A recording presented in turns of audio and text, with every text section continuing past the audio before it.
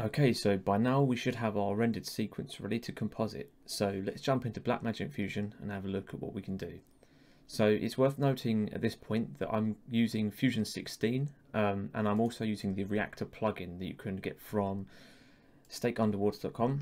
Um, it's a community uh, built plugin uh, full of lots of really useful nodes and it's free. So I recommend you get this because we are going to be using some of the tools that are in this uh, reactor package. And when you have it installed you get um, this reactor uh, option here where you can open up reactor.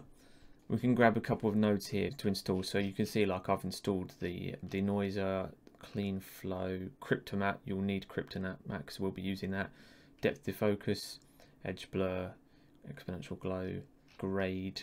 Split EXR is a useful one so there's quite a few in here. It's worth having a look and seeing what's available. Well, there's a lot I haven't even tried out really, but there's a lot of useful ones. I quite like this one, the uh, uh, Chroma Fuse. It's quite useful for um, chromatic aberration. So worth getting.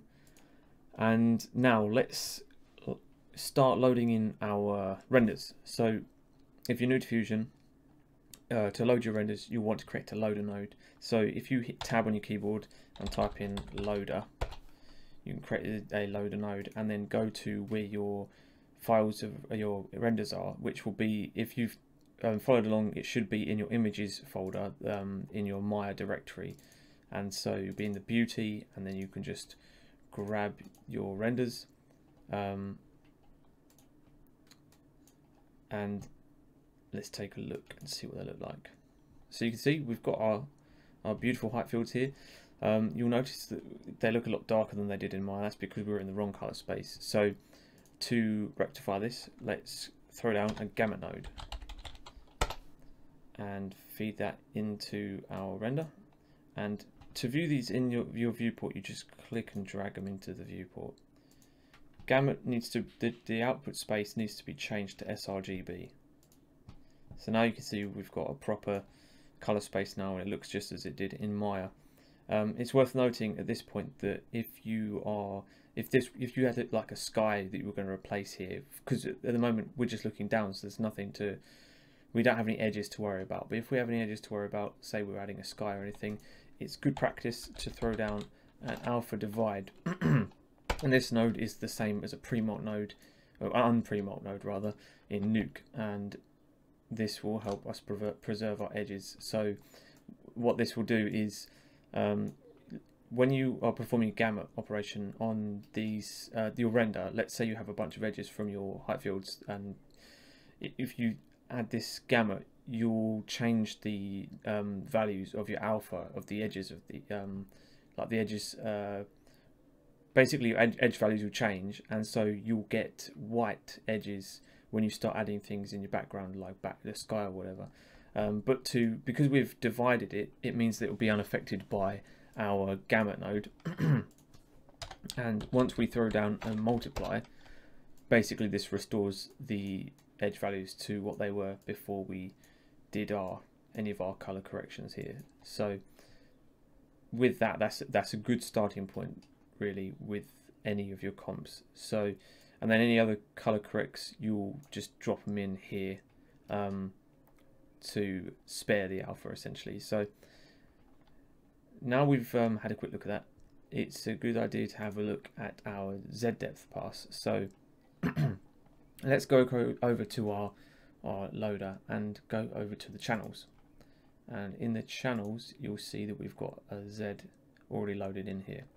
So the way we access that is we'll create a Luma Keyer node and if you if you're if like what's happened here if it's been created in your flow just hold shift and pull the node out and that will bring it out of the node tree. So feed the Luma key into your render and take a look at the node. Now this isn't right so we need to go over to our channel and change this to depth. Okay so still no sign of our depth. That's because we need to select our near and far planes. Now because this is an Arnold render, these two are actually inverted. So if you select your, your near plane, actually select it as your far plane. So let's just grab the furthest value we can here and then the far plane becomes the near plane so let's grab the closest one so now you can see we've got a depth effect here. And then in order to use this as our mask, we're going to need to use a channel Boolean node. So there's two of these. Don't use this one, the three boolean. This is this is for the 3D tools. Ch throw down the channel booleans, this one, and pipe this little the yellow um, pipe into your Luma Keyer and then take a look. Now again, nothing's changed. It's because we need to change all of these channels. Just change them all to alpha foreground. Alpha FG. And so now we've got our depth mask. And then one other trick we can use with this actually is if we throw down a bitmap node, then and break that connection there and use the yellow again, pipe it in. If you have a look at the bitmap node, you see that we can see like all of the values here and using the um, the channel controls we can enhance the effect of the depth pass if we want so that's quite useful um, so what we're going to use this for is creating some depth in our scene. So if we have a look at our render, it just is very flat. You know, we've got our lighting, but you don't have the sense of atmosphere that you would get if you were shooting something this high up.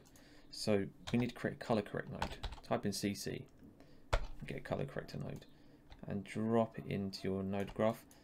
And use this blue tab. The blue ones are masks. So take this mask from your bitmap, and now let's drop the contrast quite a bit. And you see now we're already getting this feeling of, of, of depth and atmosphere. And you also want to drop your saturation a little bit um, because the, the, the, effect of the atmosphere is you know you look to the distance and there'll be less saturation sort of hazy look. Um, and because of the effect of the atmosphere it might also be slightly tinted. So let's go to kind of a blue tint maybe.